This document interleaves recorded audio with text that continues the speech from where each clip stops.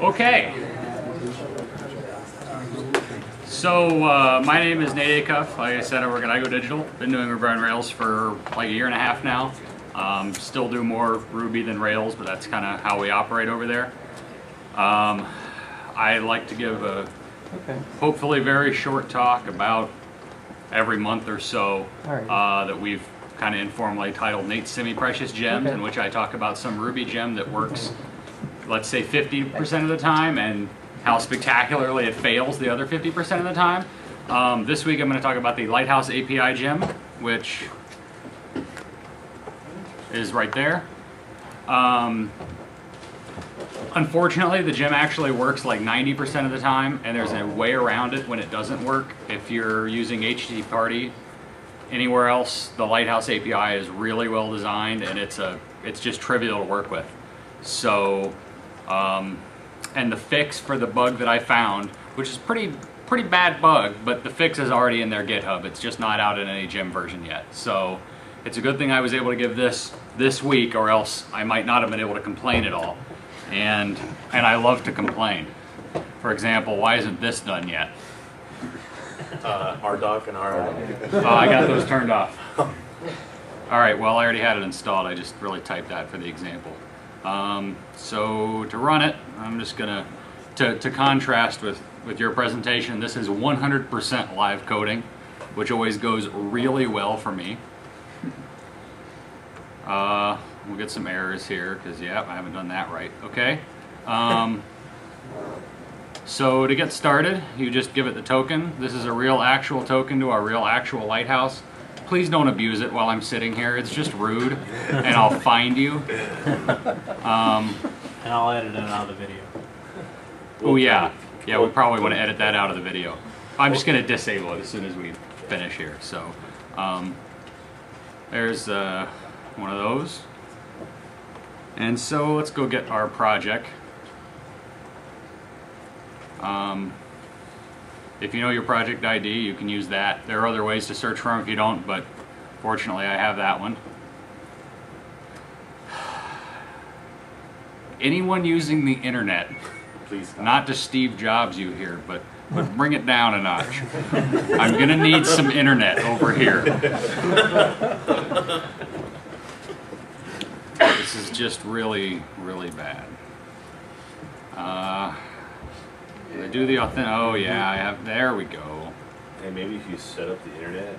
I set it up five minutes ago. Their session handling is apparently, Worse than ours. yes. Yes, let's say that. All right. Wow, that is really hard to read. So, um, Why don't you like awesome? It'd, it'd be great. Um, so now P is my project. I can get all the tickets, and by all the tickets, I mean 30 tickets at a time, uh, never more. There are some paging things you can pass to, to get more tickets, and, and it's not hard, but it's just something to be aware of.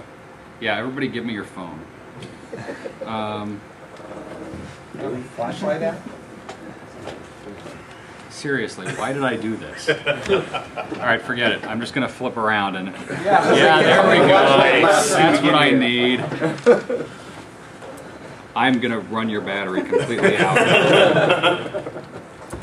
have an actual flashlight. No, we're good. Old technology. Those batteries are expensive. So I'm gonna get our support milestone So we have something to actually look at. That's uh, you know pretty straightforward Ruby, and you can see there's the support milestone. It's got last updated and title and URL and all that, all the stuff that you expect a milestone to have. And it also, ooh, what happened there? That's not good. There we go. Uh, Please be less than 50. it also has 30 tickets, so we're down from yesterday's 51. Forget what I said before about 30 tickets. We're making progress. Um, I'm gonna just go grab a couple of those. Um, let's say five or so. And yeah, There's some, oh, hey, that's not what I wanted. Probably want X now. Yep. The, this is me live coding, so there'll be a few more of those. So there's uh, some actual tickets from our real support system. Um, it's ev- everything kind of works like you would expect. It really is a good API. Um, to make a new ticket, uh, it's kind of a pain. You have to actually pass it the project ID. I'm sure there are other ways to do it, but this is what all their examples say to do, and half the time, if you're doing it through some other object, you have to pass it the project ID anyway for some reason. This is like the only real sharp edge, so I'm willing to forgive them. Um, wow, that's bad. Um,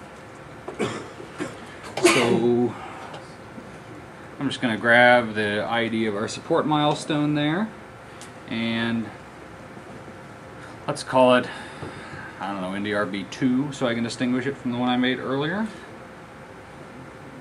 And uh, it should give me a ticket. And that should save it. Can you sign Um, it from there? now, if I do, uh, that, and like I said before, you have to actually pass it the uh, project ID. If you get like, if you're using this API and you get like a weird error somewhere and you can't figure out, you probably need to pass the project ID somewhere. but there's the ticket. Um, let's see, 1185. So if I go over here, you'll see there is 1185. So that worked. Um, I can do, here's where it'll kind of break down a little bit.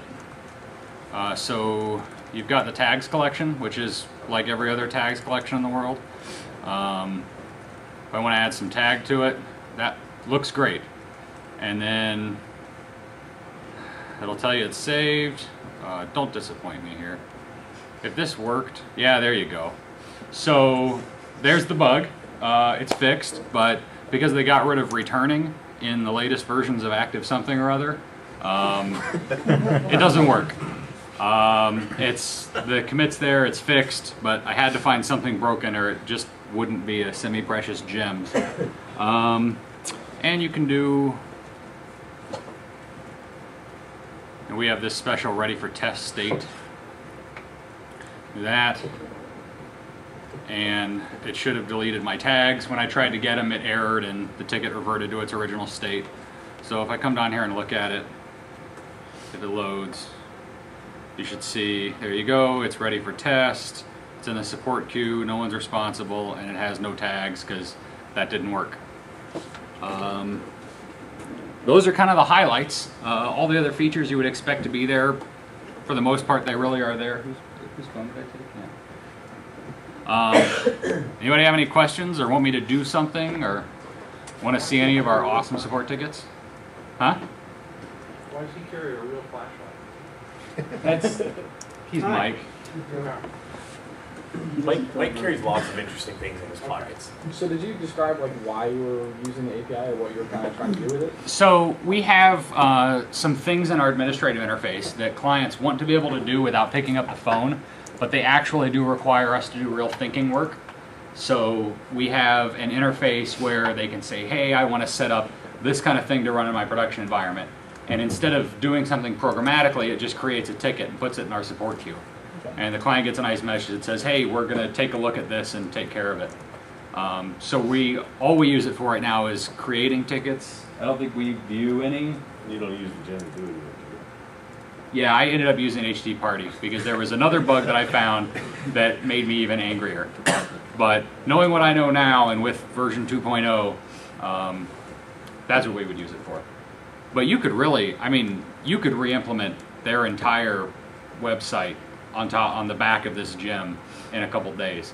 It really does give you an awful lot of power. Like we pull crap out of Lighthouse and I create a burn down chart for the, our support queue to show us stuff because the Lighthouse interface is pretty crappy. Yeah, I hate Lighthouse, but this API sounds like pretty good. The API is really good. It, it, it's the lighthouse that you thought you were getting. Yep. And there's, I believe there's a gem that gives you strictly command line access that's supposed to be good. The lighthouse? Yeah. Um, I think it's Lighthouse CLI. I didn't have time to look at it, but I mean, I really all the day-to-day ticket stuff I do, I could do in IRB now with this gem. I have to imagine the CLI makes it even a little bit smoother because nobody wants to read the output of hash.inspect. Any other questions? Joel, you? Thank you.